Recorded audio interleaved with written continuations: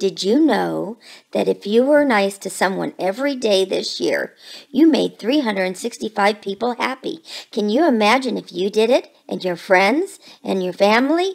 Wow! How exciting is that? Miss Beauty, she took the with her.